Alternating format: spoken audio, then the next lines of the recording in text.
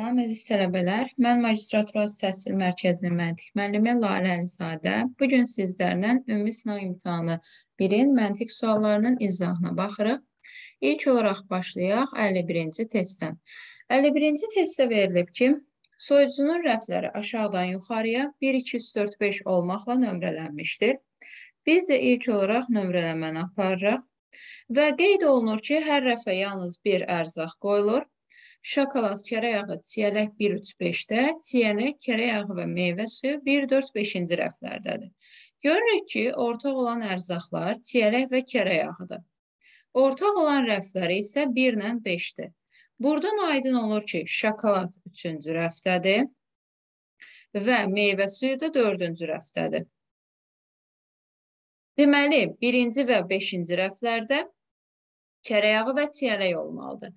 Əgər biz 5-ci rəfə kərə yağını yazsaq, 1-ci rəfdə çiyələk olacaq və əksinə 1-ci rəfə kərə yağını yazsaq, 5-ci rəfdə çiyələk olacaq. Və bir dənə ikinci xanamız boş qalıb, burada pendiri yazmalıyıq. Bizə deyir aşağıdaşlardan hansı tamamilə doğrudur? Aydın məsələ ki, kərə yağı və çiyələyin yeri ilə bağlı olan bütün variantlar tamamilə doğru ola bilməz. Cavab olacaq D variantı pendir ikinci rəfdədir. Keçirik növbəti suala.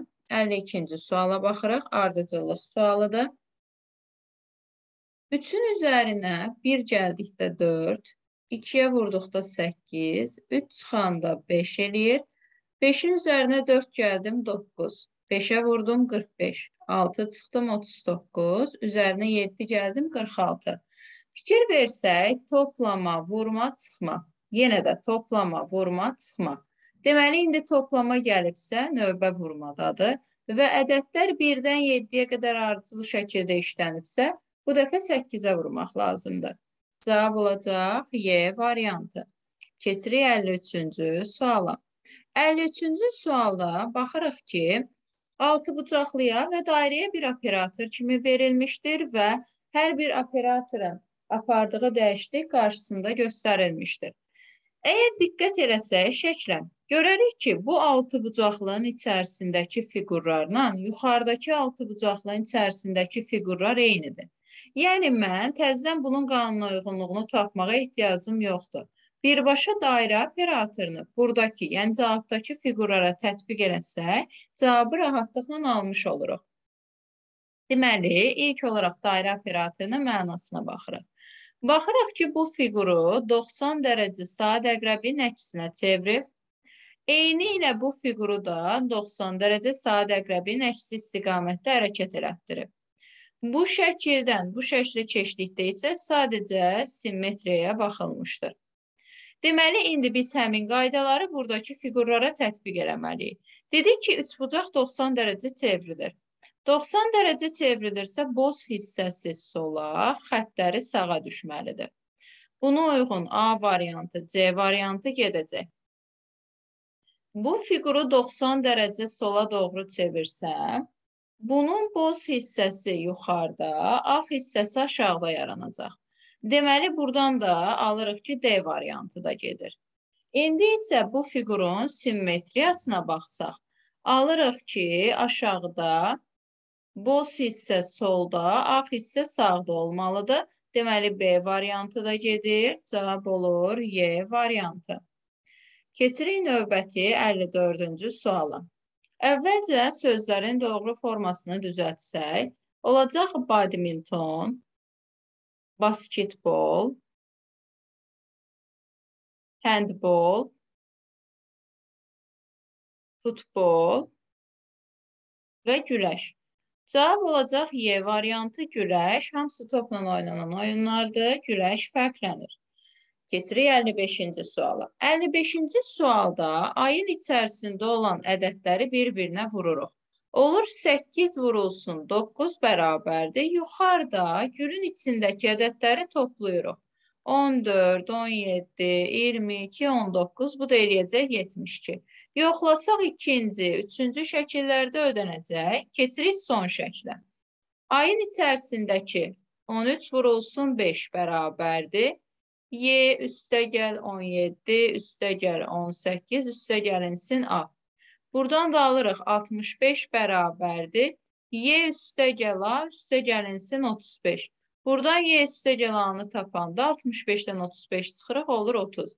Bizdən də elə Y plus A-nı soruşur. Cavab olacaq D variantı. Keçirik 56 nömrəli testə. 56-cı sual proqrama aid olan bir sualdır. Baxırıq ki, ürəklə üçbucağı toplayıb 9, burada da ürəklə üçbucağı toplayanda 9 alınır. Birbaşa yazıram. Ürək üstə gəl üçbucaq bərabərdir 9-a və onluq üstünə baxsaq, üçbucaq üstə gəl kvadrat bərabərdir ürəyə. Başlayıram. Üçbucaq, kvadrat və ürəyə qiymətlər verirəm. Baxıram ki, ürəklə üçbucağın cəmi 9 olmalıdır. Üçbucağa 1 versəm, ürək olacaq 8, 2 versəm 7, 3 versəm 6, 4 versəm 5, yerin dəyişəndə 5, 4, 6, 3, 7, 2 və 8, 1 şəklində olacaq ki, cəmlər 9 eləsin. İndi İkinci bərabərliyimə əsasən üçbucağın və ürəyin qiymətlərini nəzərə alaraq kvadratı tapıram.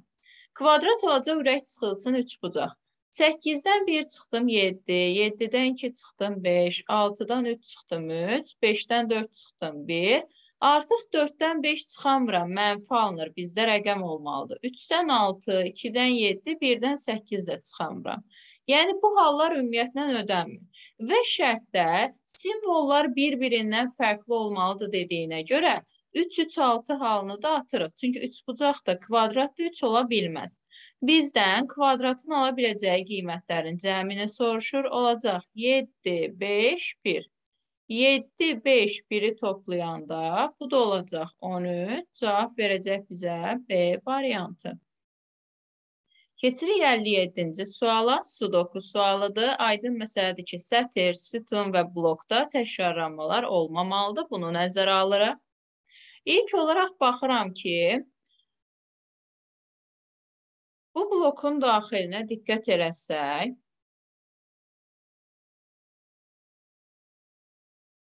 bu blokun daxilində A, C, Y və F işlənməmişdir. Sətirdə A olduğuna görə A-nı burada, burada yaza bilmirəm. Yuxarıdakı sətirdə A olduğuna görə burada A yaza bilmirik. Məcbur A-nı bura yazmalıyıq. C burada olduğuna görə bu sütunda heç yerə C yaza bilmirəm. Deməli, məcbur C-ni bura yazmalıyıq. Biz bildik ki, bu sütunda bu iki xana Y ilə F-dir. Amma yerlərini dəqiq müəyyənləşdirə bilmirik. Onda bu sütuna diqqət eləsək, Y, F, B, D var. Bir dənə A yoxdur. Deməli, A-nı da bu boşluğa yazmaq lazımdır. Daha sonra keçirəm növbəti blokumuza. Bu blokun daxilinə baxsaq. Baxıram ki, burada A, B var. C, D, Y, F işlənməyib. F burada verilibsə bu xanaya yaza bilmərəm, sətirdə təkrarlanma olar yoxsa Bu iki xanaya da yazan varam, sütunda təkrarlanma olur. Deməli, məcbur F-i bura yazmalıyıq. F getdi, qalır S, D, Y. Baxıram ki, S-ni bura yazan varam, çünki sətirdə var. S-ni burada yazan varam, bu sətirdə var. Deməli, S-ni biz bura yazmalıyıq. S də getdi. Qalır D ilə Y, onu da yerləşdirə bilmirik, çünki sətirdə sütunda təkrarlanmamız verilməyib. Baxıram ki, burada F, C, A, D bu sətirdə işlənib. Qalıb bizdə bir dənə B ilə Y. Deməli, B ilə Y-ni biz ya B-ni bura yazıb, Y-ni bura yazmalıyıq. Ya da tərsinə Y-ni bura, B-ni bura yazmalıyıq. İndi baxıram ki, bu blokun daxilində A, C işlənib. Qalıb bizdə B, D, Y, F. Bunları yerləşdirmək lazımdır. Mən baxıram ki, bizdə B-ni bura yazamıram, sətirdə var. B-ni bura yazamıram, sətirdə var. Deməli, bizdə B ya burada, ya da burada olmalıdır. Baxıram ki, D, Y, F-i də D-ni bura yaza bilmirəm. Çünki sütunda var. D-ni bura yaza bilmirəm, sətirdə var. D-ni məcbur bura yazmalıyam. Sonra baxıram ki, bizdə F-i onda biz bura yaza bilməyəcəyik. Çünki sətirdə var. F-i məcbur bura yazmalıyıq. F-i bura yazdıqsa bu sütunda A, C, F, D var. Qalır bir dənə B ilə Y. Deməli, burada B-ni yazacağıq və yaxud da Y-ni yazmalıyıq. Eyni ilə də buradakı sütunda da yeri dəyişik şəkildə yaza bilərik. Ya Y, ya da B işlənə bilər. İndi bizdə baxıram ki, bu hissədə dedik ki, A, C, F işlənibsə, qalıb B, D, Y-nin işlənməsi. B, D, Y-ni, B-ni bura yaza bilmirəmsə, bura ya D, ya Y düşəcək. Deməli, B ya bu xanada, ya bu xanada olacaq. İndi mən baxıram ki, onsuz da B ya burada ya da bunda işlənməli olacaq. Deməli, D burada işlənə bilmir, D burada işlənə bilmir. Deməli, məcbur olaraq D sual işarəsinin yerində işlənməlidir. Cavab olacaq D variantı. Keçirik 58-ci suala. Baxıraq ki, analogiya sualıdır. Taxta, mismar, şkaf verilib. Taxta və mismar şkaf üçün istifadə olunan materiallardır. Deməli, cavab olacaq A variantı. Parça ilansa paltarın hazırlanması üçün istifadə olunan materiallardır. Məsələn, B-də daş, mala, divar verilib. Mala divarın hazırlanması üçün material deyil, istifadə olunan bir alətdir. Keçirik indi 59-cu suala. 59-cu sualda bizə deyir ki, hər bir şəxsin soyadlarını tapmaq lazımdır. Bizə deyir ki, Ramalın anası yoxdur. Və sonra da qeyd olunur ki, Şükürlünün anası Kərimlinin anasının yanına gəldi. Deməli, Ramalın soyadı nə Şükürlü, nə də Kərimli olmamalıdır. A-da Kərimli verilib.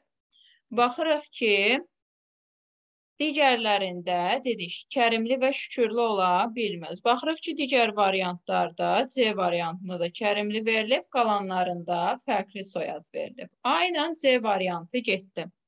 Şərtdə deyir ki, bir basketbol komandasında ancaq ya qızlar, ya da oğlanlar olmalıdır və şükürlü ilə baxışlı bir komandadadır. Deməli, şükürlü və baxışlı hər ikisi ya qız, ya da oğlan olmalıdır. B variantında şükürlü, xatirə, baxışlı kamildir. Biri qız, biri oğlandır, olmaz. Baxırıq ki, D variantında şükürlü, sevincli, baxışlı kamildir. Biri qız, biri oğlandır, olmaz. Deməli, cavab olacaq Y variantı. Keçirik 60-cı suala. 60-cı sualda əgər sütun üzrə hər bir elementi ayrı-ayrılıqda baxsaq, Bu elementi 90 dərəcə saat əqrəbinin əksi çevirdim alındı bu. Bir də 90 dərəcə çevirdim alındı bu ox işarəsi. Yoxlasaq ikinci sütunda ödənir 3-ə keçirəm. Bu oxu 90 dərəcə çevirdim alınır bu ox. Bir də 90 dərəcə çevirəndə artıq bu içə doğru hərəkət eləyəcək. Yəni bu istiqamətdə düşəcək. D variantı gedir. Keçirəm o birisinə. Sütun üzrə bunu 90 dərəcə çevirdim alınır belə. 90 dərəcə çevirəndə alındı bu ox işarəsi. İkinci sütunda yoxlasam ödənir. Keçirəm bizə lazım olan sütunu. 90 dərəcə çevirdim alındı bu ox. Bir də 90 dərəcə bunu içəriyə doğru çevirəndə bu istiqamətdə oxu almış oluruq. C variantı gedir, qalır A, B, Y variantları. Keçirəm növbəti oxa. Baxıram ki, bu oxu 45 dərəcə sadə əqrəbi çevirib, sonra yenidən 45 dərəcə çevirib alınıb ox işarəsi bu istiqamətdə. Deməli, bu oxu 45 dərəcə çevirdim, alınır bu. Bir də 45 dərəcə çevirəndə alınacaq üzü aşağı istiqamətdə.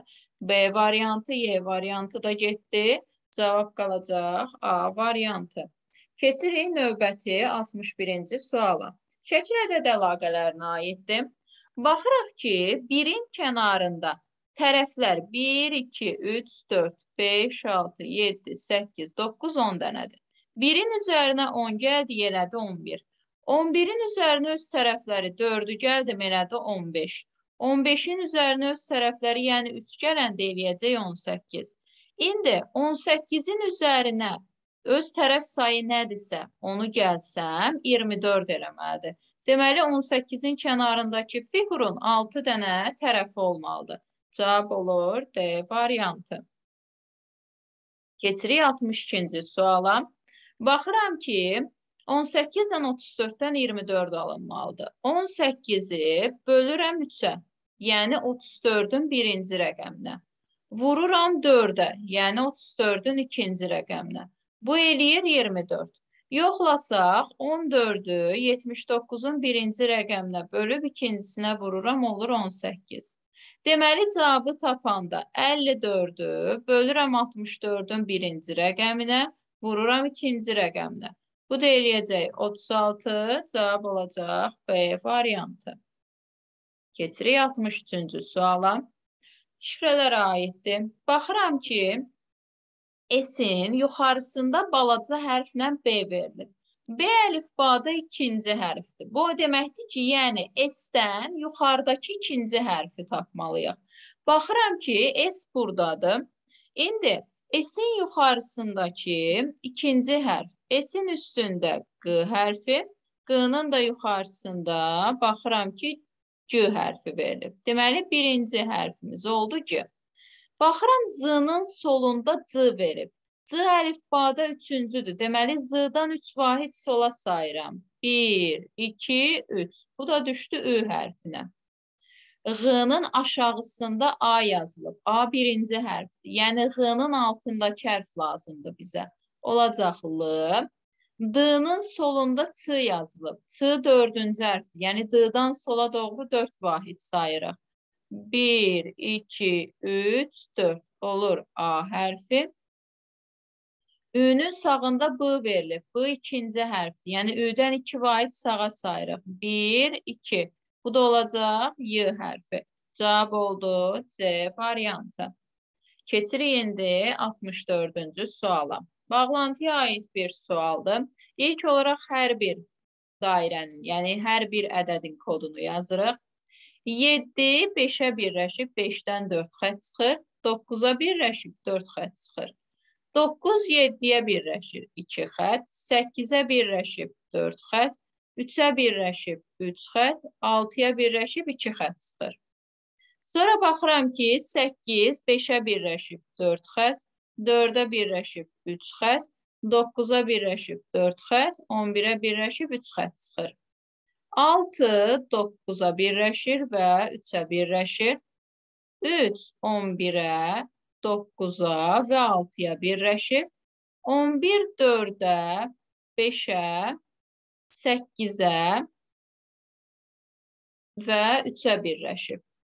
4 11-ə, 8-ə və 5-ə birləşib.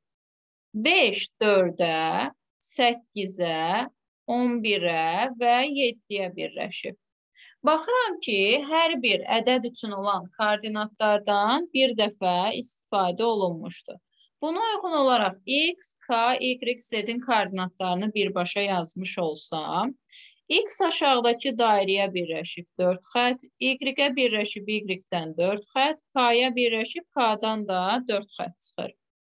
K-ya baxsaq X-ə birləşib 3 xət, bu dairəyə birləşib 4 xət, Y-ə birləşib 4 xət və bu dairəyə birləşib 2 xət. Y K-ya birləşib 4 xət, X-ə birləşib 3 xət, bu dairəyə birləşib 4 xət, Bu dairəyə birləşib 3 xət çıxır. Z aşağıdakı dairəyə 3 xət, yandakına birləşib 4 xət. Baxıram ki, 3, 4 koordinatı olacaq 6-nın koordinatı. Z-in yerinə yazırıq 6. Baxıram ki, 4, 4, 4 koordinatı olan olacaq bizdə bir dənə 4. Deməli, x-in qiyməti olacaq 4. Sonra baxıram ki, 3, 4, 4, 2 koordinatı olan ədədimiz 5-dir. Bu da olacaq K-nın qiyməti. K bərabər oldu 5-ə. 4, 3, 4, 3 koordinatı olan da 11-dir. Y də bərabər olacaq 11-ə. Bizdən də bunların cəmini soruşur. Yəni 4 plus 11 plus 5 plus 6. Bu da eləyəcək 26. Cavab olacaq B variantı. Keçirik 65-ci suala. Dizel yanacağın bir növüdür, yəni yanacağın bir nümayəndəsidir. Cavab olacaq C variantı. Şuşa da bir şəhərin adıdır. Keçirik 66-cı suala. 66-cı sualda əvvəlcə verilən ardıcıllığı bir intervala ayırsaq, baxırıq ki, 13-dən 8 almaq üçün 13-ün rəqəmlərini toplayıb 2-yə vururuq. 8-in rəqəm cəmi yenə 8 verir. Vururuq 2-yə 16. 16-nın rəqəm cəmini 2-yə vurduq 14. 14-ün rəqəm cəmini 2-yə vurduq elədi 10. Deməli, onun rəqəm cəmini 2-yə vururuq. Bu da eləyəcək 2. Keçirəm digər intervala. 14, 15, 18, 27 sual. 14-ün rəqəm cəmi 1 plus 4 elədi 5, 3-ə vurduq elədi 15. 15-in rəqəm cəmini 3-ə vurdum, elədi 18. 18-in rəqəm cəmini 3-ə vurdum, elədi 27. 27-nin rəqəm cəmini 3-ə vuranda bu da eləyir 27. Deməli, cavab oldu B variantı. Deməli, intervalın birində rəqəm cəmi 2-yə, digərində isə rəqəm cəmini 3-ə vurmaq lazımdır. Keçirik növbəti 67-ci suala. Baxırıq ki, 67-ci sualda bizə 5 qız və 5 oğlan verib, deyir ki, bunlar bacı qardaşdır və hər bir bacı öz qardaşı ilə bir yerdə danışıq dərsinə gedir. Və bunlar həftənin 5 günü dərslərə gedirlər. Əvvəlcə yuxarıda həftənin günlərini qeyd eləyirəm. Və sətirlərdən birində qızların, birində də oğlanların adını yazmalıyam. İndi bizə deyir ki, Əli cümə günü kursa getmişdir. Əlini yazdım cümə gününə. Mustafanın dərsi Tuncaydan 3 gün sonradır. Deməli, mən Mustafanı birinci, e, daha doğrusu Tuncayı birinci günə yazsam, Mustafanı 4-ə yazmalıyam. Tuncayı 2-yə yazsam, Mustafanı 5-ə yazmalıyam, amma Əli 5-də olduğuna görə yazamıram. Deməli, ancaq bir halımız var ki, Tuncay birinci gün olacaq, Mustafa da dördüncü gün olacaq. Deyir Tuncay Baharın qardaşıdır. Tuncayın altından Baharı yazdı. Şəhla Mustafanın bacısıdır. Mustafanın altından da Şəhlanı yazdı. Fidan Günaydan bir gün sonra kursa getmişdi. Deməli, Günayla Fidanı ardıcıl yazmalıyıq. Ardıcıl boşluq 2-3-cü günlərdədir. Deməli, Günayı 2-yə, Fidanı da 3-ə yazırıq. Onda qızlardan bir dənə Zəhranın adı çəkilmədiyinə görə onu 5-ci günə yazdıq. Oğlanlardan qaldı bizdə. Deməli, Cəlil və Kənan. Deməli, Cəlili ikinci günə yazsam, Kənanı üçə yazmalıyam və yaxud da Kənanı ikiyə yazsam, Cəlili üçə yazmalıyam. Yəni, Cəlil və Kənanla bağlı dəqiq məlumat bilmirik. Deyir, aşağıdakılardan hansı tamamilə doğrudur? A variantında verib ki, Əli Zəhranın qardaşı doğrudan da cədvəldə Əli ilə Zəhranı eyni sütuna yazmışıq. Məsələn, B-də deyir Fidan Cəlilin bacısıdır. Fidanla Cəlil bacı qardaş ola da bilər və yaxud da Fidanla Kənan da bacı qardaş ola bilər. Və yaxud da Günanın qardaşı Kənandır deyəndə yenə də Kənan da ola bilər, Cəlil də ola bilər. 68-ci sualda hansı tamamilə yanlışdır deyir. Olacaq D variantı. Şəhla çərşənbə günü kursa getmişdir. Yanlış fikirdir.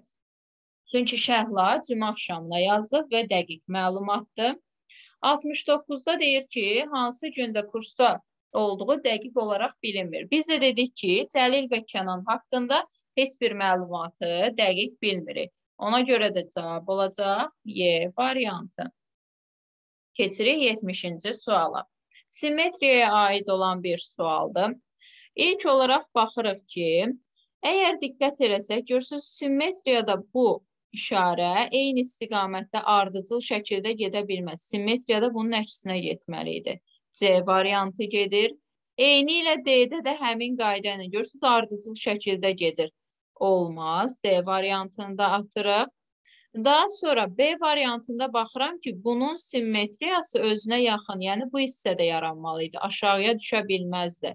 B variantı da gedir. Cavab qalır ya A variantı ya da Y variantıdır.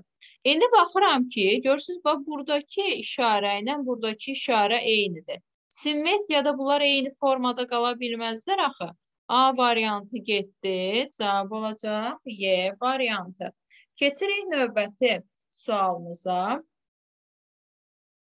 71-72-ci suallar qrafik tipli məsələdir.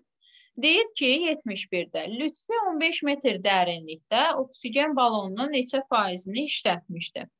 Lütfiyə aid olan qrafik qırıq-qırıq xəttlərlə göstərilmişdir. Deyir 15 metr dərinlikdə. Mən baxıram ki, Lütfi 15 metr dərinliyə 5 dəqiqə ərzində çatır. Yazıram ki, 5 dəqiqəyə x faiz oksigen balonundan istifadə eləyir. Doluluq grafikinə baxsam, aydındır ki, burada 100 faizdən 72 faizə 7 dəqiqə ərzində düşüb. Deməli, 7 dəqiqə ərzində 28 faiz istifadə eləyir. 5-in 7-yə nisbəti x-in 28-ə nisbətidir. Buradan da alırıq ki, x bərabərdir 20-yə. Deməli, 20% istifadə eləyəcək. 72-də deyir ki, aşağıdakılardan hansı doğrudur? Birinci şərtdə deyir ki, lütfinin suya batma surəti sıxma surətindən böyükdür. Baxıram ki, lütfi 15 metr dərinliyə 5 dəqiqəyə gedibsə, 15-i 5-ə bölürük, deməli onun suya batma surəti 3-dür. Sıxma surətini tapmaq üçün baxıram ki, yenə də 15 metr məsafə gedib, Amma zaman 5 dəqiqədən 7 dəqiqəyə gəlib. Yəni 2 dəqiqəyə gedib. 2 dəqiqə 15 metr hərəkət eləyibsə, deməli, surəti olacaq 7 onda 5. 3 də 7 onda 5-dən kiçikdir, böyük deyil. Biri atırıq. A, D, Y variantları getdi. Artıq məlumdur ki, onsuz da ikinci cavab doğrudur, amma yenə də yoxlayaq. Cavid dəqiqədə lütfidən daha çox oksigen istifadə edir.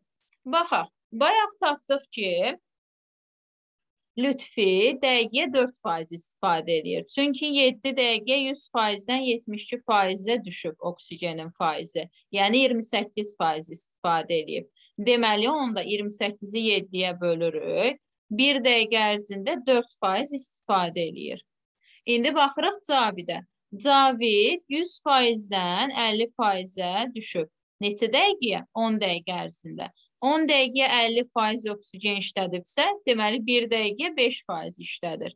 Deməli doğrudan da Cavid Lütfidən çox oksigen istifadə edir. Keçirik indi üçüncü şərtə. Cavidlə Lütfinin suya batma sürətləri arasındakı fərq 1-dir. Bayaq birinci şərtdə Lütfinin suya batma sürətinin 3 olduğunu tapmışdıq. İndi Cavidin suya batma sürətinə baxırıq. Cavid 10 metr dərinliyə 5 dəqiqə ərzində gedirsə, Deməli, 1 dəqiqəyə 2 metr dərinliyə getmiş olacaq. 2 ilə 3 arasındakı fərq doğrudan da 1-dir. Deməli, ikinci və üçüncü cavablar doğrudur olacaq C variantı. Keçirik 73-cü anagram sualına. Sözləri düzəltsək, A variantını biz nektar kimi də, tanker kimi də düzəldə bilərik. B variantı avtobus, C variantı təyyarə, D variantı tramvay, Y variantı yaxta. Cavab olacaq A variantı. Nektar kimi götürsək, digərləri e, nəqliyyat vasitələri nektar meyvə şirəsidir. Tanker kimi götürsək, digərləri insanları daşımaq üçün istifadə olunur. Tanker insan daşımaq üçün istifadə olunmur. 74-cü sualda bizdə 399, 400, 401 ədədlərinin hansı formada düzüləcəyini soruşur. Mən diqqət eləsəm, əgər görürəm ki, üzü yuxarı ox 1-dən 2-yə gedir. Yəni 1-in kvadratı plus 1 eləyir 2. Sonra baxıram ki, 4-dən 5-ə üzü aşağı ox verilib. 2-nin kvadratı plus 1-dir 5. Sonra baxıram ki, yenə üzü yuxarı ox 9-dan 10-a bitib. Yəni 3-ün kvadratı plus 1 ilə bitib. Üzü aşağı o 16-dan 17-yə gəlib. Yəni 4-ün kvadratı plus 1 ilə bitir. Gördüyümüz kimi sol tərəfdə tək ədədlərin kvadratlarıdır, sağ tərəfdə cüt ədədlərin kvadratıdır. İndi baxıram ki, bu 400-dən 401-ə keçibsə, yəni 20-nin kvadratı plus 1-dir. 20 cüt ədəd olduğuna görə Deməli, sağ tərəfdə olacaq. 400, 400-ün altında da 401 gəlməlidir. Deməli, cavab olacaq D variantı. Keçirik 75-ci suala. Doğru və yalanla bağlı olan bir sualdır. Mən məsələyə diqqət eləyəndə görürəm ki, bizə verib ki, Azər deyir ki, Babəyin soyadı Səmədovdur. Baxıram ki, başqa heç bir adam Səmədov soyadını verməyib. Deməli, Babəyin soyadı Səmədovduru doğru götürürəm. Mənim soyadım Məmmədovdur dediyi şərti yalan götürürəm. Baxıram ki, əgər Babəyin soyadı Səmədovdursa, onda Hüseynov şərtləri gedir, Tələtov şərti gedir. Qalırıq C ilə D variantı arasında. Azər mənim soyadım Məmmədovdur deyirsə və bu da yalandırsa, keçirəm növbəti şərtə. Babək deyir ki, mənim soyadım Məmmədovdur. Artıq bu yanlış olacaq. Onda belə çıxır ki, Həsənin soyadı Tələtov olmalıdır. D variantı da gedir. Cavab qalır C variantı. Amma yenə də digərlərini yoxlaya bilərik. Baxıraq ki, əgər Həsənin soyadı Tələtovdursa, onda Ramalın dediyi Əlinin soyadı Tələtovdur şərti səhvdir. Deməli, Ramalın soyadı İbrahimov olmalıdır. Doğrudan da burada da Ramala İbrahimov yazılıb. Deməli, bu doğrudur. Əgər Ramalın soyadı İbrahimovdursa, Həsən deyir ki, Ramalın soyadı İbrahimovdur. Deməli, bu şərt düzdür. Həsənin soyadı Hüseynovdur e, dediyi şərti yalandır. Həsənin soyadı Hüseynov şərti yalandırsa, onda Əlinin soyadı Məmmədov olmalıdır. Doğrudan da variantda Məmmədov verir. Yəni, sona qədər də davam elətdirsək, cavabın doğruluğunu görmüş oluruq. Keçirik indi artıq 76-cı suala. Baxırıq ki, 76-cı sualda əgər mən sırayla bu rəqəmlərə fikir versəm, 8, 1, 3, 2, 7, 6, 4, 5. Baxın, bu rəqəmlər eyni ardıcıllıqla təkrar olunacaq. Nəyə diqqət edirik? Sırayla rəqəmləri saydıqda, sona çatanda sağdan sola əksinə hərəkət edirik. Soluca çatdıqda təzdən soldan sağa hərəkət eləyirik. Sağ uca çatdıqda yenə sağdan sola doğru, sola çatdıqda soldan sağa hərəkət eləməliyik. İndi baxıram. 8, 1, 3, 2, 7, 6, 4, 5. Görürsünüz, burada bitdi. Yenə başlayırıq. 8, 1, 3, 2, 7, 6, 4, 5. Burada bitdi. Yenə başlayır. 8, 1, 3, 2, 7, 6. Deməli 4, 5, 8 gəlməlidir. 4, 5 də bitir. Bir də başlayır. 8, 1, 3, 2, 7, 6, 4, 5 bitdi.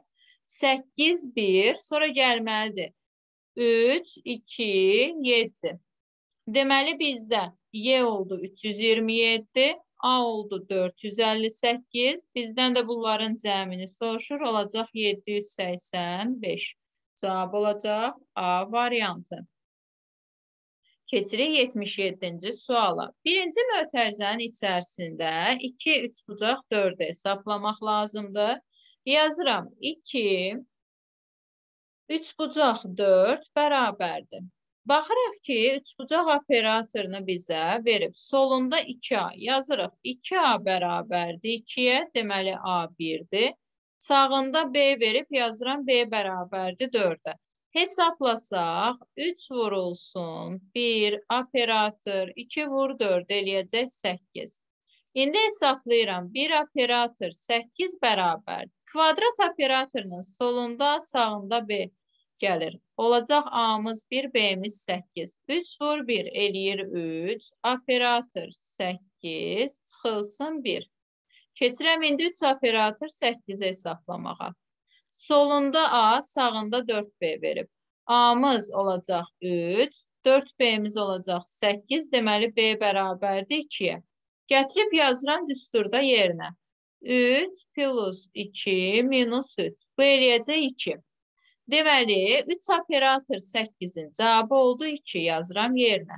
2-dən 1 çıxanda elədi 1. Yəni, 1 operator 8-in cavabı olacaq 1. 3-ü 1-ə vuranda eləyəcək 3. Gətirdim, bu mötərizənin yerinə 3 yazdım. İndi hesaplamalıyıq. 3 operator 20-ni. Dairə operatorunun solunda A verib. A-mız olacaq 3. Sağında 4B verib. Yazıram 4B bərabərdir 20-yə, B bərabərdir 5-ə. Olacaq 3 üstəgəl 5 çıxılsın 3. Bu da eləyəcək 5, cavab olacaq C variantı. Keçirik 78-ci suala. Sözləri düzəltsək, olacaq Quran, Zərdüşt, İncil, Tövrat, Zəbur. Cavab olacaq burada B variantı Zərdür. Çünki digər variantlardakılar müqəddəs kitabların adlarıdır. Keçirik 79-cu suala. Baxırıq ki, 79-cu sualda bir divar verir, uzunluğunu, hündürlüyünü qeyd eləyir və bizdən ona tamam qalan hissəni tamamlamaq üçün ən azından neçə daşın istifadə olunacağını soruşur. Birinci, həmin o yarım qalan hissəni tamamlayıram. Biz bu hissənin sahəsini tapmaq üçün içərisində düzbucaqlara ayırıram.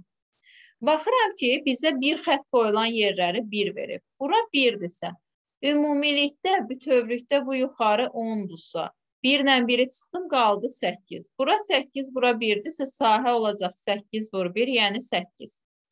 Bütövlükdə bu hissə 8-dirsə, bura 1, burada 1-dirsə, deməli bu ortada qalan hissə 6-dır. 6-nı 1-ə vurdum, sahə oldu 6. Bütövlükdə bura 8-dirsə, burada 1, burada 1-dirsə, deməli ortada qalan hissə 4-dür. 4-ü 1-ə vurdum, elədir 4. Deməli, bütövlükdə bu sahə olacaq 8, üstəgəl 6, üstəgəl 4, yəni 18 kvadrat metr. Baxıram ki, bizdə kərpicin ölçüləri santimetrlə verilib.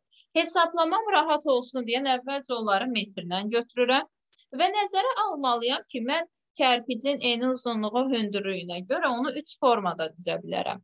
Ya bir tərəfi 0.1, o biri tərəfi 0.2 formasında düzə bilərəm. Və yaxud da 0.2, 0.3 formasında düzə bilərəm və yaxud da 0.1, 0.3 şəklində düzməliyəm. Bizə ən azı neçə kərpic lazımdır dediyinə görə, deməli, ən böyük sahəyə malik olan, yəni ən çox sahəni tutan formada kərpicləri düzməliyəm. Birinci halda 0.1-i 0.2-yə vursam, eləyir 0.2. 0.2-ni 0.3-ə vursam, 0.6. 0.1-i 0.3-ə vursam, eləyəcək 0.3. Deməli, ən böyük sahəli olacaq 0.6. 18 kvadratı 0.6 kvadrata bölürəm ki, görüm neçə dənə kərpic bu sahəni dolduracaq. O da eləyəcək 300 dənə. Cavab olacaq D variantı. Keçirik növbəti 80-ci suala. Baxıram ki, bizə verib ki, Günəşin sağına ağ kvadrat düşəndə aşağısına qara üçbucaq düşür. Deməli, baxıram ki, günəşin sağına ağ kvadrat yazsam, yəni bu altda qalan üz olacaq. Yəni kvadr, qara kvadratın qarşı üzü olacaq. Bunun aşağısına qara üçbucaq düşəcək. Yəni ürəklə üzbə-üzə düşəcək. Onda baxıram ki, əgər bizdə ürəyin sağında dairə yuxarısında qara kvadrat veribsə, deməli ürəyin yuxarısında qara kvadrat var. Sağına dairə veribsə, yəni günəşin qarşısına bu ağ dairə düşəcək. İndi bizə verib ki, ağ kvadratın sağında ağ dairə varsa, baxıram ki, ağ kvadratın sağında ağ dairə varsa, bunların üstünə nə düşməlidir? Ürək. Deməli, cavab olacaq Y variantı. Keçirik 81-ci suala, tərəzi sualıdır. Baxıram ki, dördüncü tərəzidə 5 dənə ulduzum var. Deməli, bu ulduzlar mütləq olacaq 1. Onda 6 bucaqlım oldu 5. Baxıram ki, indi 5 ilə mən nəyi toplasam bu dairələrin qiymətlərini tapmış ola bilərəm.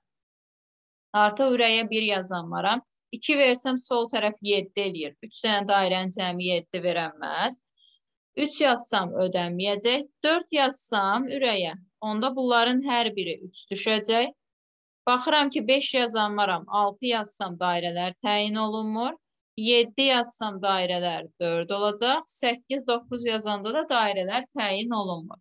Bizdə maksimumdan söhbət getdiyinə görə ürəyin 7 qiymətini götürürəm. Yenə də smilikin də maksimumu lazım olduğuna görə buna da 9 yazıram. Smilikin yerinə 9 yazsam 9 ilə 9-un cəmi 18 eləyir. Baxıram 1, 4, 7, 9, 5 istifadə eləmişəmsə, məsələn bunlara 2, 3 yazsam Bu ağ romba 5-dən böyük hissənə bir qiymət. Məsələn, 6 versəm, bu bərabərliklər ödənəcək hamısı. Yəni, bu şərtlərdə maksimumumuz ürək 7, smaylik 9 ola bilər. Deməli, cəmi eləyəcək 16, cavab da olacaq B variantı. Keçirik növbəti 82-ci suala. 82-ci sualda baxıram ki, bizə verib 2, operator 3 bərabərdir. Solunda, sağında B. 3 vurulsun, 3 operator 2 üstə gəlinsin. A-nın kvadratı, yəni 2-nin kvadratı çıx, B-nin kubu, yəni 3-ün kubu. Bu eləyəcək 2 operator 3 bərabərdir. 3 vurulsun, 3 operator 2 çıxılsın 23. Keçirəm bu dəfə 3 operator 2-ni hesablayıram. A-mız 3, B-miz 2-dir. 3 vurulsun 2 operator 3 üstə gəlinsin. 3-ün kvadratı çıx 2-nin kubu. Bu da eləyəcək 3 operator 2 bərabərdir. 3 vurulsun 2 operator 3 üstə gəlinsin 1. Burada 3 operator 2-yə, daha doğrusu 2 operator 3-ə x, 3 operator 2-yə də y desəm, alırıq ki, x bərabərdir 3y çıx 23, y bərabərdir 3x üstə gəlinsin 1. Y-in bu ifadəsini yuxarıda yazsam. X bərabərdir 3 vurulsun 3x plus 1 minus 23.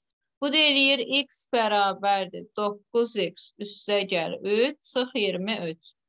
Buradan da alırıq 8x bərabərdir 20-yə. X isə bərabər olur 2 onda 5-ə.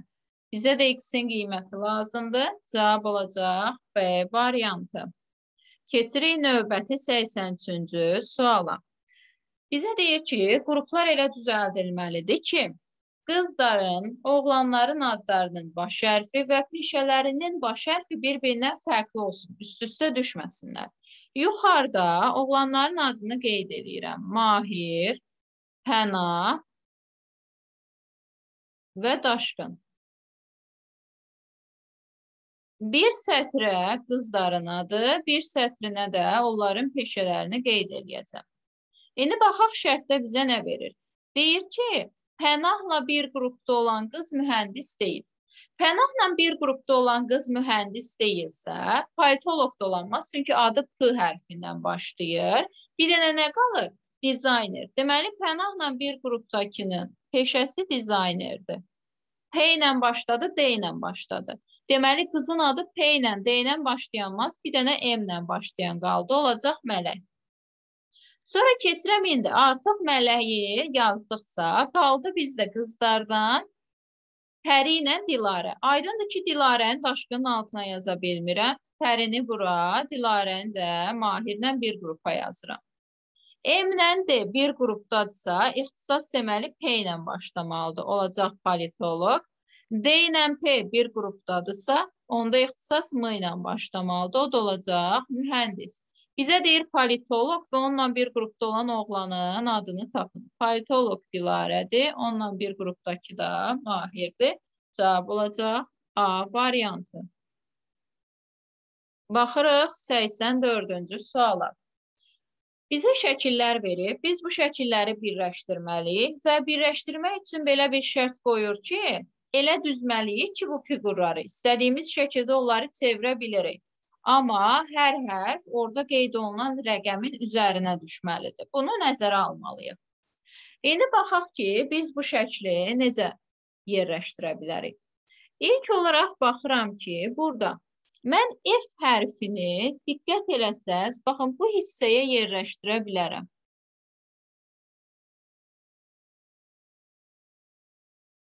Bura olacaq F, yəni 6 oldu F. Sonra baxıram ki, F-in altında görürsünüz 4 dənəlik bir xana qalmış olacaq. Mən bu 4 dənəlik xanıya, baxıram ki, 4 dənəlik nə var bizdə? A var. Bu 4 xanıya A-nı yerləşdirəcəm. Kənarda qeyd eləyirəm ki, A bərabər oldu 1-ə. Sonra davam eləyirəm. Baxıram ki, bunların yanında. Görürsünüz, bu hissədə 4 yazılan hissədə və yaxud elə yuxarısına da baxa bilərik birbaşa 2 yazılan hissəyə. Görürsünüz, burada 3 dənəlik bir dənə xanamız var. Yəni, mən bu hissəyə, baxın bura, C-ni yaza bilərəm. Yəni, C bərabər oldu 2-yə. Deməli, biz F-i, A-nı və C-ni istifadə elədik. Qaldı B, D, Y. İndi baxıram ki, Y 4 dənəlikdir. Y 4 dənəlikdirsə, fikir versəz, mən baxın bu hissəyə. Görürsünüz, bax 3 olan hissəyə, bax buradan belə Y-ni yerləşdirə bilərəm. Y olacaq onda bizdə 3 yazılan xana. Y də getdi. Qaldı bizdə bir dənə D ilə B-ni yerləşdirmək. İndi baxın ki, bax fikir verin, D 3 dənəlidir. D 3 dənəlidirsə, baxıram ki, burada 3 dənəlini mən 5 yazılan yerə bax fikir verin. Bura yerləşdirə bilərəm. Deməli, D oldu 5. Görürsünüz, 5 dənəlik bir dənə xanam qaldı. Bu 5 dənəlik xanam da olacaq aydın məsələdir ki, B. 4 də oldu bizdə B. İndi baxırıq ki, deyir ki, 2 rəqəmi ilə hansı hərf üst-üstə düşdü? Qeyd eləmişik yuxarıda qırmızı ilə olan hissədir. C-nin qiyməti 2-dir. Bu oldu C variantı. 85-də bizə deyir ki, bütün hissələr birləşdiriləndə F-lə qonşu olan altıbucaqlıda hansı hərf var? Şərtdə qeyd olunur ki, ən azı bir tərəfi olan, ortaq olan altıbucaqlılar qonşu altıbucaqlılardır. Deməli, mən baxıram ki, F hərfi göy olan hissədir. Buna qonşu olan hissə, qonşu altıbucaqlı hansı olacaq? Bu sarı olan hissə. Sarıda da nə yazılıb bizdə? A yazılıb. Deməli 85-ci sualın cavabı da olacaq A variantı. Artıq keçirik növbəti sualımıza, yəni 86-cı suala. 86-cı sualda cədvəl tiplidir. Baxıram ki, uyğun sətirlər. Bu sətirlə, buna tutaq ki, 1 yazaq. Bu sətir bir-birinə düz gəlir. Bu sətir ikinci sətirlə bu sətir düz gəlir.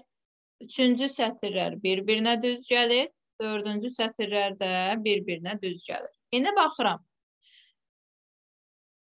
5-in kvadratı, baxın, bu 2-ni yazıram 5-in qüvvətinə, eləyir 25. Yazdım. Bu 2-ni yazıram 7-nin qüvvətinə. 7-nin kvadratı eləyir 49. 4, 9. 4-ün kvadratı 16. 3 üstü 4 görürsünüz. İkinci rəqəmi qüvvətə yazır. 3 üstü 4 81. 2-ni 8-in qüvvətinə yazdım. 8-in kvadratı elədi 64. 2 üstü 5 elədi 32.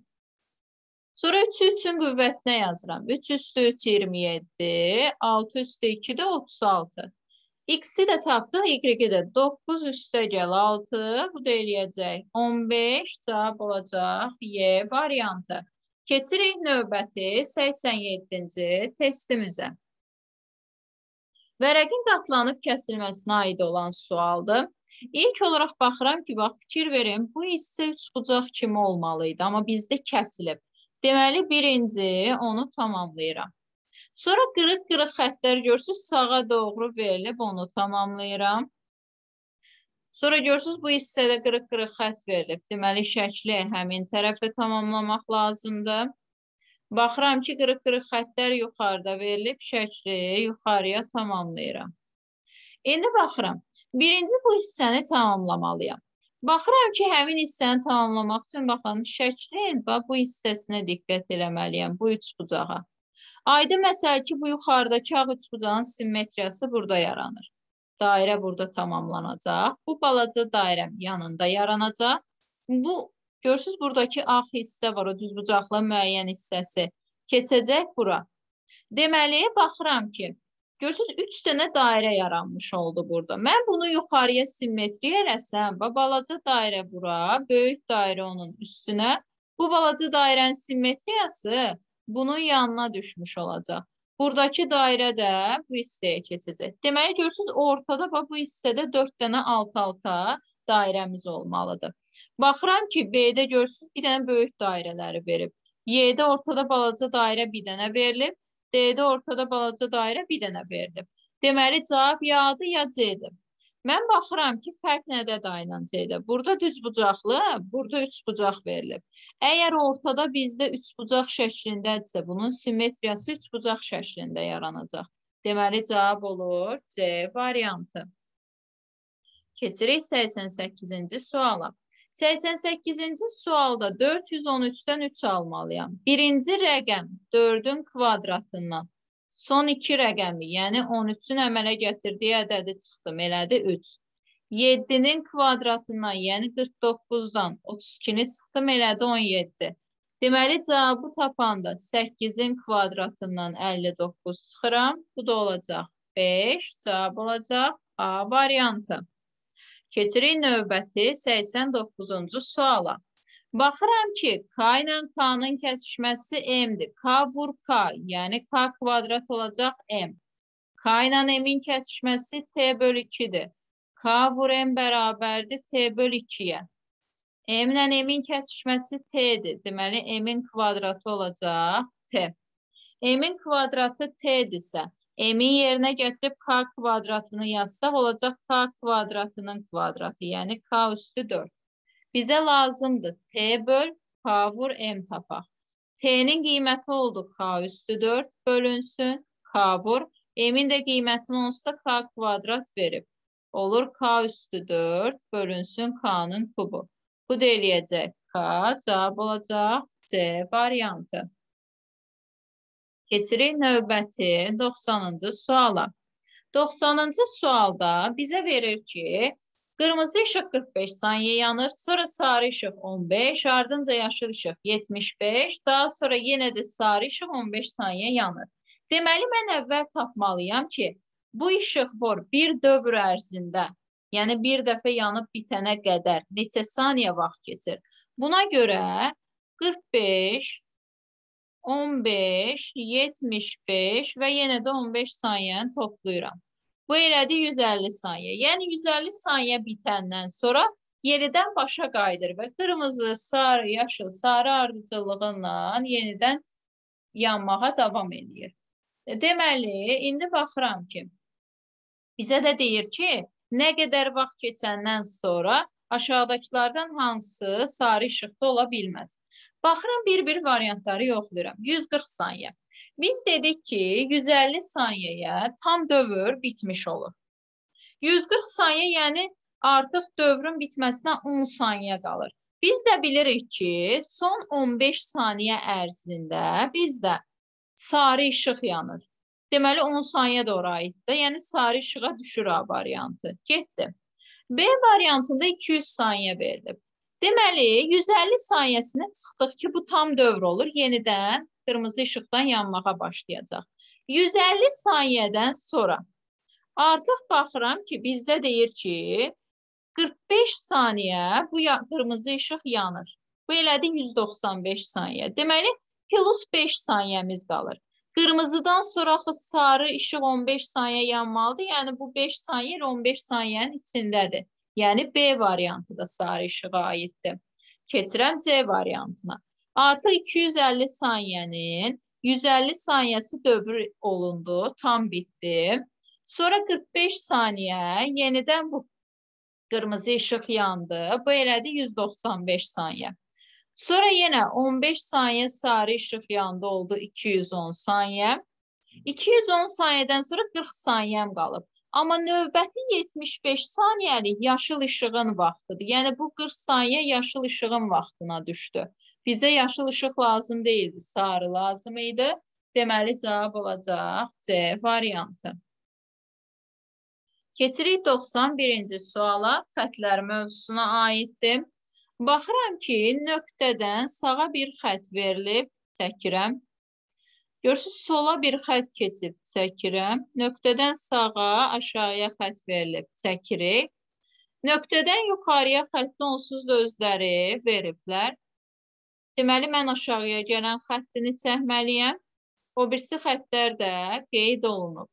Baxıram ki, indi bizdə Diqqətlə fikir versək, görərik ki, nöqtədən bizdə sağa xət gəlib, amma aşağıya doğru xət verilməyib. Deməli, aşağıya doğru xətti özümüz çəkirik. Baxıram ki, A variantındakı xəttlərdə bu hissədəki xətti görürsünüz, özləri veriblər bizə burada. Ona görə A variantını atıraq. Baxıram ki, sonra C variantına diqqət eləsək, bax burada bu xətti verib C-də təzədən çəkilib. C variantı ola bilməz. Baxıram D variantına. D-də buradakı xətti veriblər, amma bu özləri çəkiblər onsuz da ehtiyac yoxdur çəkməyə. Baxıram indi Y variantına. Y variantında bax buradan xətt verilib. Amma əslində özləri bu xətti çəkiblər burada. Biz səhməyə ehtiyac yoxdur. Cavab olacaq B variantı. Keçirik 92-ci suala. Bizə deyir ki, növbəti bir xananı elə qaraltmalıyıq ki, həmin şəkildə müəyyən bir kubun açılışı alınmış olsun. Mən baxıram, bir-bir yoxlayıram. Biri burada rəngləsəm, görsünüz sadə 4 dənə kub ortada, bir dənə üz yuxarıda, biri də aşağıda. Bu düz gəldi. Deməli, A variantı alına bilər. Bu getdim. Keçirəm indi ikincini rəngləyirəm. Bunu rəngləsəm, elə birdən eyni şey oldu. Yenə 4 dənə ortada üz, biri yuxarıda, biri aşağıda. Deməli, ikinci ilə də kub düzəltmək mümkündür. Deməli, bunu da silirəm. Keçirəm indi üçüncüyə. Üçüncünü rəngləsəm, fikir verin. Bu qaranı mən bu tərəfə çevirsəm, ortada 4, biri üstündə, biri altında üz yaranacaq. Deməli, üçüncü ilə də olur.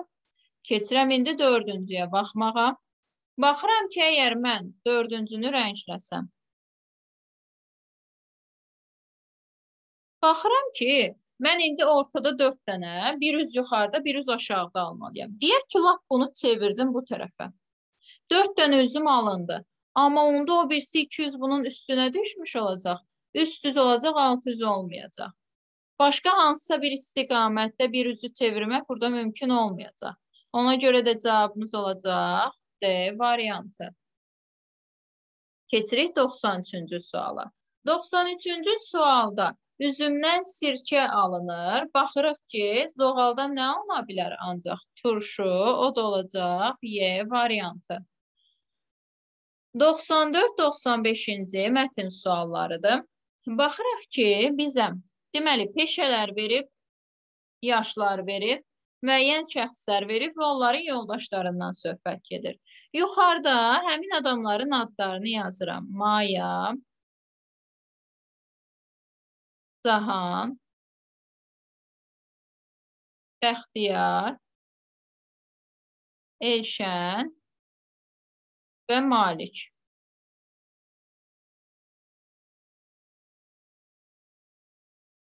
Deməli, bir sətirdən bunların peşələrini, bir sətirdən yaşlarını, bir sətirdən də onların yoldaşlarının adlarını yazmaq lazımdır.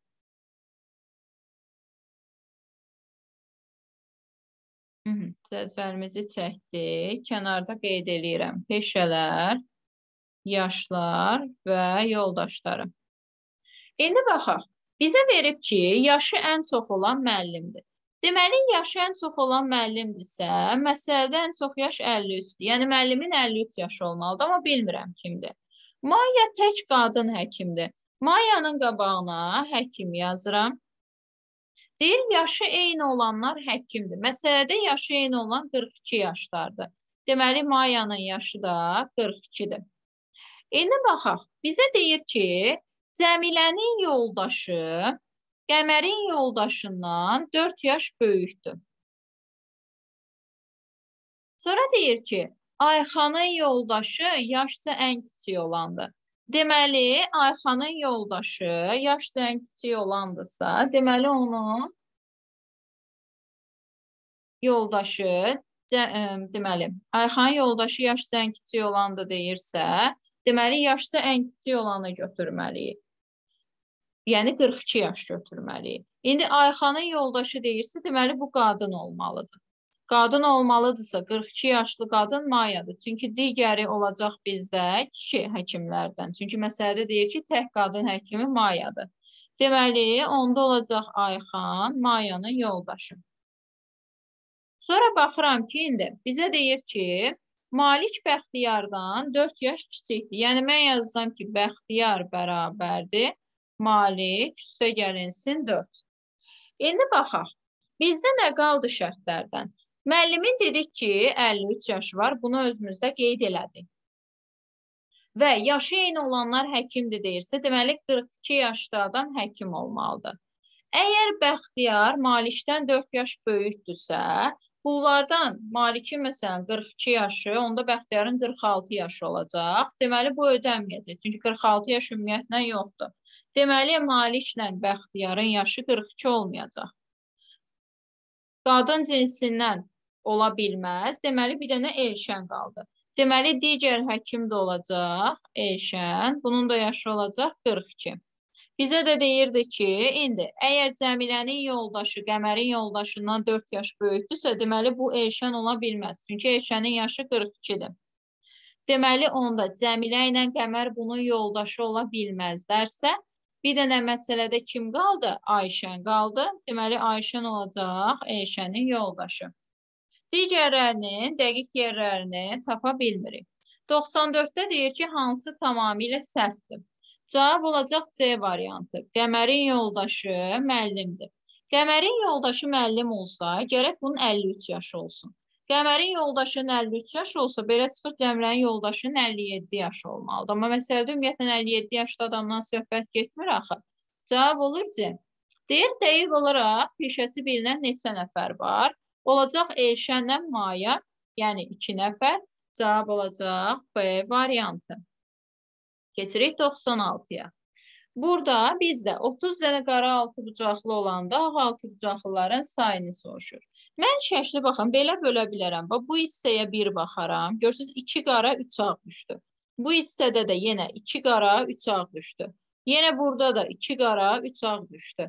Deməli, hər 2 qara altı bucaqlıya 3 ağ altı bucaqlı düşürsə, 30 qara altı bucaqlıya x dənə ağ altı bucaqlı düşür. 2-nin 30-a nisbəti 3-ün x-ə nisbətinə bərabərdir. x oldu 45. Yenə həmin qayda ilə sonuncunu da bölsəm, görürsünüz, axırda bir dənə bu 2 dənəmiz artıq qalır. Deməli, 45 dənə bura qədərdir. Bu 2 dənəni də üzərinə əlavə eləsəm, bu eləyəcək 47 dənə. Yəni, deməli, cəmi 47 dənə ağ altı bucaqlı var. Keçirik indi 97-ci suala. 97-ci sualda bizə deyir ki, ədədimiz 3 rəqəmli olmalıdır, 400-dən böyük olmalıdır, 5-ə bölünməlidir və rəqəmləri müxtəlif olmalıdır. Bu əgər 3 rəqəmlidirsə və 5-ə bölünən ədəddirsə, bunun deməli sonuncu rəqəmi ya 0 ya 5 olmalıdır. Yəni biz 2 ala baxmalıyıq buradan. İndi mən baxıram. Əgər bunun sonuncu rəqəmi sıfırdırsa və 400-dən böyük olmalıdırsa, birinci rəqəmi bunun ya 4 ola bilər, ya 5 ola bilər, ya 6 ola bilər. İkinci rəqəm kimi artıq mən sıfırı və birinci rəqəmin yerinə işlətdiyimi yaza bilmərəm. Amma yerdə qalan 5 rəqəmin hamısını yaza bilərəm. Deməli, birinci rəqəm kimi 3 al, ikinci rəqəm kimi 5 alımız var. 3 vurulsun 5. Bu elədi 15 dənə hal. Sonuncu rəqəm 5 olanda mən birinci rəqəm kimi ya 4 ya 6 götürə bilərəm. Çünki sonuncu rəqəm 5 oldusa, bu 400-dən böyük olmaq üçün mənim ədədim ya 400 neçə, ya 500 neçə, ya 600 neçəsi olmalıdır. Amma 5-i işlətmişəmsə təzədən yazamıram. Yəni birinci rəqəm kimi 2 halım var. İkinci rəqəm kimi 1, birinci rəqəm, bir də sonuncu rəqəmə yazdığımı istifadə eləyə bilmərəm. Yerdə qalan 5-inin hamısını istifadə eləmək olar. 2 vur 5, bu da eləyəcək 10. 15 ilə də onu toplayıram. Bu da eləyəcək 25 dənə mümkün ədəd. Cavab oldu 25. Keçirik 98-ci suala. Aşkar operatora aid olan sualdır. Birinci. Mötərizənin içərisində A üç bucaq verib. Kök altında plus 8-i yazdım yerinə. Kvadrat operatoru bərabərdir 56-ya. Baxıram ki, indi kvadrat operatorunun solunda A, burada kök altda plus 8 verilib. Yazıram. 3 vurulsun kök altda plus 8 üstə gəlinsin 14 bərabərdə 56-ya. 3 vurulsun kök altda plus 8 bərabərdə 56-dan 14 çıxdı 42. Kök altda plus 8 bərabərdir. 42-ni 3-ə böldüm 14. Kök altda bərabərdir. 14-dən 8 çıxdım 6. Deməli A bərabər oldu 36-ya. Cavabımız olacaq 36. Bizdən də A-nı soruşurdu. Keçirik növbəti 99-cu suala. Baxıram ki, əgər bizdə K ilə M-i toplayıb bura K düşübsə, deməli K-nı sıfırla toplamalıyıq ki, K olsun. Amma burada K artıq M-ə keçibsə, deməli bizdə M-in qiyməti 9 imiş ki, yadda ədəd qalıb ondan sonra K-ya çevrilib. M-in yerinə 9 yazsam, 999-u 99-a vururam. 9 vur 9 81. 1 yazıram 8 yadda. 9 vur 9 81 8 yadda 89. 9 vur 9 81 8 yadda 89. Görürsüz hər yerdəyim 9 K 8 oldu. Yoxlasam 9 ilə 1-i toplayanda 10 ödənir. 9 ilə 9-u topladım 18, 1 yadda 19 ödəndi. 9 ilə 8 topladım 17, 1 yadda 18. 8, 1 də yadda 9. Görürsünüz, M hər yerdə 9, K hər yerdə 8 oldu. Deməli, doğrudur. M9, K8, elde 1 oldu. Deməli, cavabımız eləyəcək 18. İndi isə keçirik 100-cü suala. Yüzüncü sual kuba ait bir sualdır. Bizdən bir üzü, iki üzü və üç üzü rənglənmiş kubların sayını soruşur. İlk olaraq başlayaq bir üzü rənglənmiş kubları saymağa. Aydın məsələdir ki, bir üzü rənglənmiş kublar. Baxın, ancaq bir tərəfi görünür. Ancaq bir üz görünür. 2, 3, 4, 5, 6, 7, 8, 9, 10, 11, 12, 13, 14. 15, 16, 17, 18, 19, 20. Deməli, qabaqda 20 dənə üz gördük. İndi arxa tərəfə fikir versəz əgər, bax görürsüz, məsələn, arxa tərəfdə artıq bu üzə diqqət eləsəz, baxın, eynisi, yəni buradakı üzlər qədər də arxa tərəfdə də üz yaranmış olacaq. Çünki, məsələn, bax, biz burada bunu əslində bir üzü rənglənmiş kimi götürmədik. Amma arxa tərəfdə bu görürsüz hələ davam elətdirilir axı, yəni kub çıxarılmayıb burada. Görürsüz bax bu hissələrdə kublar var. Ona görə bunu bir üzü rənglənmiş kimi götürəcəyik. Amma məsələn, buradakı üzün arxa tərəfdə artıq həmin hissədən kub çıxarıldığına görə bunu bir üzü rənglənmiş kimi götürmürük. Amma burada bu hesablamadığımız 3 dənənin yerinə yuxarıdan əlavə olaraq 3 dənəni götürürük. Ona görə də yenə də 20 dənə kub olacaq arxa tərəfdə də. Üstə gəlinsin. İndi sol tərəfdə baxıram ki, baxın, bir bu hissədə və bu hissədə ortada yerləşənlər olacaq. 5 hündürlüyü 2 eni olacaq 10 dənə sol tərəfdə. Üstə gəlinsin. Baxıram ki, indi sağ tərəfə baxsaq, bir üzü rənglənmişlər. Biri buradadır. Bir üzü rənglənən, biri buradadır, oldu ikincisi. Sonra baxıram 3, 4, 5, 6, 7. Baxın, nöqtə qoyduqlarım. 7 dənə də bu tərəfdə oldu. İndi qaldı bizdə aşağı ilə yuxarıları hesablamaq. İndi mən baxıram ki, fikir verin. Aşağı ilə yuxarıları da hesablasaq, baxın, yuxarıda olacaq bizdə 1, 2, 3, 4, 5. 5 dənəni yuxarıdan götürdük.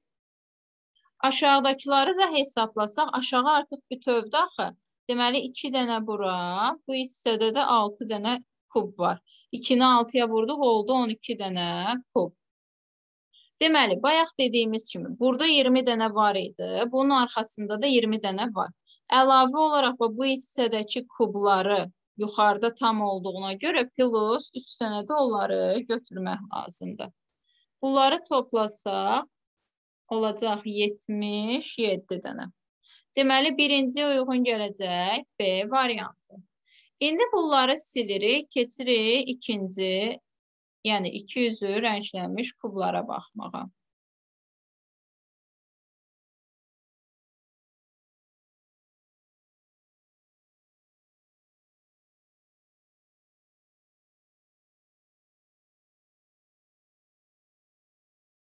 Hı -hı. İndi baxırıq 200-ü rənglənmiş kublara. 200-ü rənglənmiş kubları saysaq, Baxın. 1, 2, 3, 4, 5, 6. 7, 8. Eyni ilə bax, bunun qarşı üzü var axı aşağıda. Elə bilin ki, kubun hər üzü belə bir dördbucaqlıdan ibarətdir. Mən bunu saymışamsa əgər, deməli bunları da saymalıyam. Olacaq bunun qarşı üzü 9, 10. Sonra kesirik. 11, 12, 13, 14, 15. Bu hissədə yenə 200 rənglənənlər 16, 17. Baxın, bunun da 200-ü görünür. Görürsünüz, çıxardılıb bunun yan tərəfi. Bu oldu 18. Sonra baxırıq ki, burada deməli Bu oldu 18-ci. Ondan sonra baxıram ki, bax, bunun arxa tərəfində burada hesablasaq, olacaq 19, 20, 21, 22, 23, 24, 25, 26. Keçirəm indi bax, bu hissələrə baxmağa. Bunun arxa tərəfində də kub, görürsünüz, arxa üzü görünür. Eyni ilə də baxın, bunların da görürsünüz, iki üzü görünür. Baxıram ki, bax bunun indi arxa tərəfi də görünür axı. Biz şəkildə görməsək də, amma kubu bütöv təsəvvür eləsək, bunun arxa tərəfi də görünür. Eyni ilə baxın, bunun da bir yuxarı üzü, bir aşağı üzü görünəcək. Sonra baxıram ki, burada mən əgər burada görürsünüz, bunun 6 dənə üzünü saydımsa, bunun qarşı tərəfində də, yəni yuxarı tərəfində də 6 dənə üz var axı. Deməli, bunları da saymalıyam. Əlavə olaraq da baxıram ki, bax fikir verin, bunun arxa tərəfi də görünür. Eyni ilə bunun da arxa tərəfi görünəcək. Deməli, baxıram ki, 300 200 rənglənmiş kubların hamısına işarə qoymuş oluruq. Bu da eləyəcək deməli 43 dənə. Cavab olacaq Y variantı. Keçirik indi 300 rənglənmiş kublara baxırıq.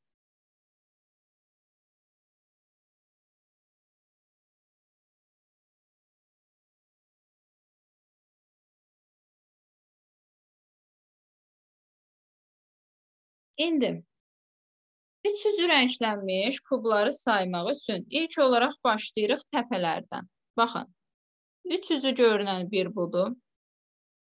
İkincisi budur. Üçüncüsü budur. Yenə deyirəm, burada bizim bir görmədiyimiz üzdə var. Baxın, bu da bir təpədir. Bu olur dördüncüsü. Bu olur 5, bu da olur 6.